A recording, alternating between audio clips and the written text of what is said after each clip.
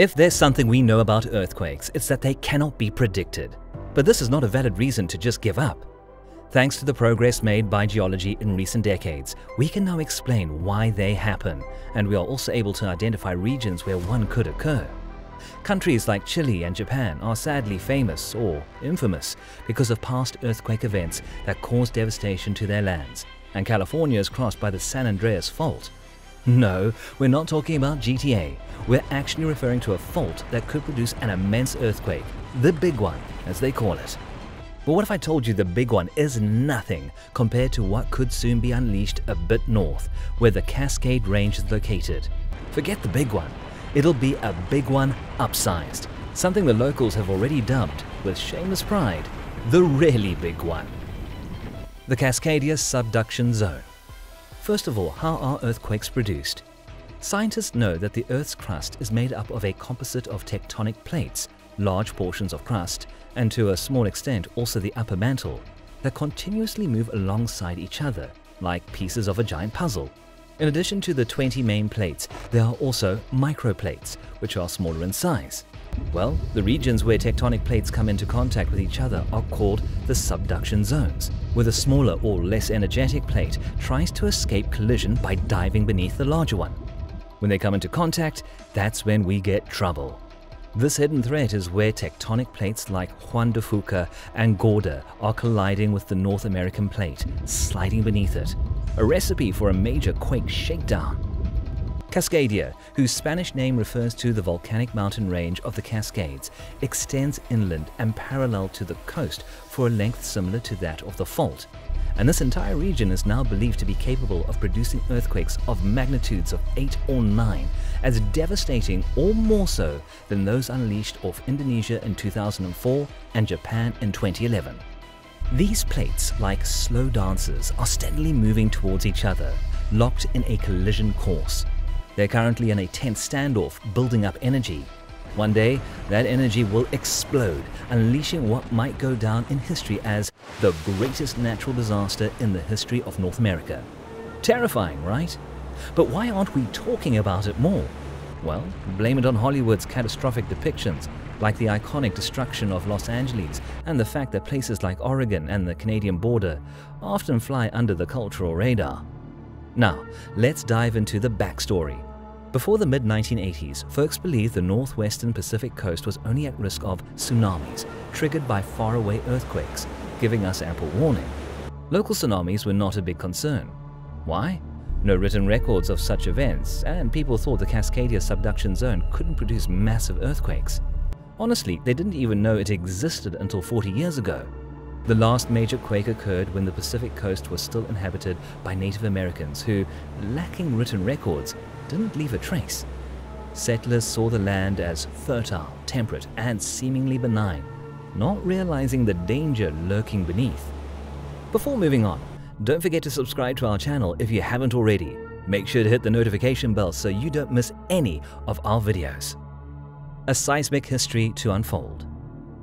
Fast forward a century and a half, and only then did people catch on that the northeastern Pacific was no tranquil paradise. It took another 50 years to unravel its seismic history. Clue 1. Geography.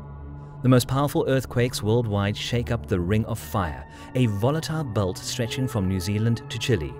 Think Japan in 2011, magnitude 9.0, Indonesia in 2004, magnitude 9.1, Alaska 1964, magnitude 9.2, and Chile in 1960, magnitude 9.5. It wasn't until the late 1960s, with the rise of plate tectonic theory, that scientists explained this fiery trend. The Ring of Fire is a ring of subduction zones.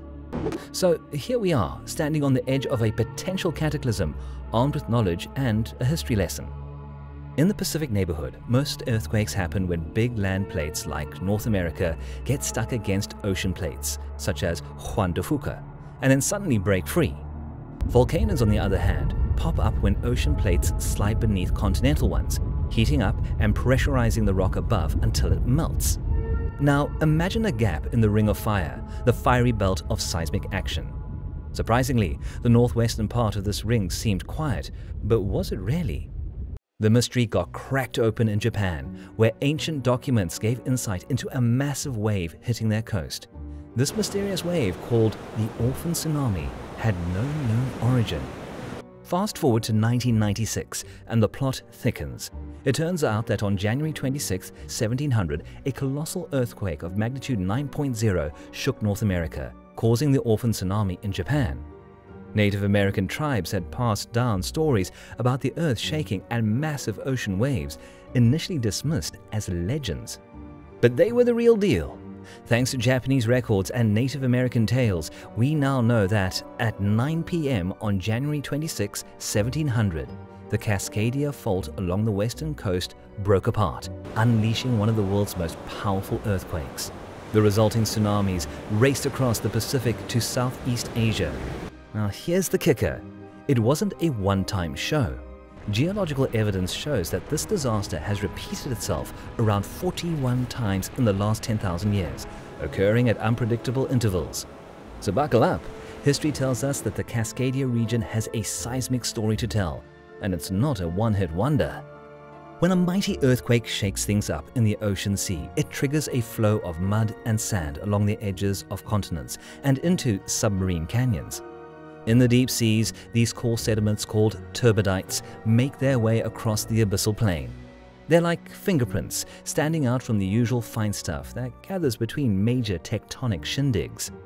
By dating the fine particles using carbon-14 analysis and other methods, we can pinpoint when significant earthquakes rocked the house over the last 10,000 years. Now for some math magic. Divide 10,000 by the 41 recorded earthquakes, and you get 241. That's the Cascadia recurrence interval, the average number of years between each earthquake. And here's where it gets nerve-wracking. It's long enough for a whole civilization to set up shop along a continent's riskiest fault line, but not long enough to kick back and relax. It's been 315 years since the last earthquake in this 241-year cycle. Now let's talk predictions. Recurrence intervals are like averages, they say.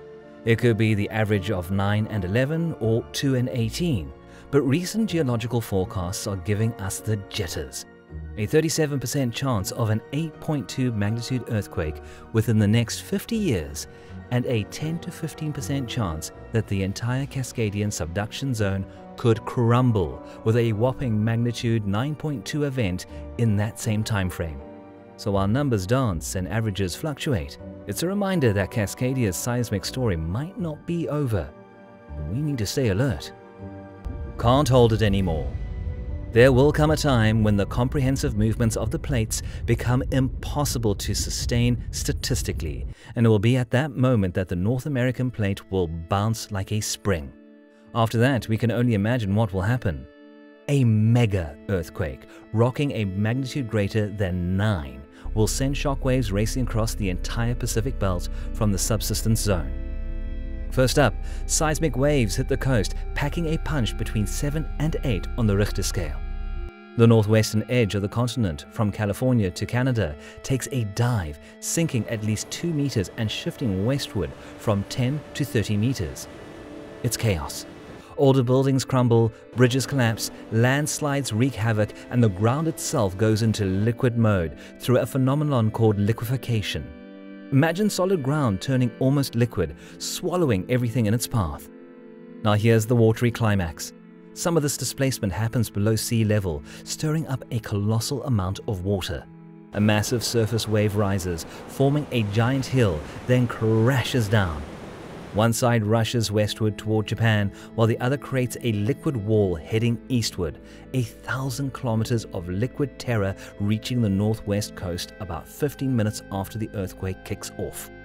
It's a race against time as waves as high as 9 to 12 meters, or possibly up to 30 meters depending on the models, surge in, invading up to 20 kilometers inward in many coastal areas. In a blink, the coast transforms and the window to escape is painfully tight. Hold on tight, because this seismic story is about to shake things up. Risk Assessment In the Northeast Pacific, a whopping 360,000 square kilometers are at risk. Home to major cities like Seattle, Tacoma, Portland, Eugene, Salem, and Olympia, with about 7 million people currently residing there. When the next major rupture hits, this region is slated to face the worst natural disaster in North American history, rivaling the 2010 Haiti earthquake that claimed over 100,000 lives. To put it into perspective, the 1906 San Francisco earthquake took about 3,000 lives. Hurricane Katrina claimed around 2,000 and Hurricane Sandy nearly 300.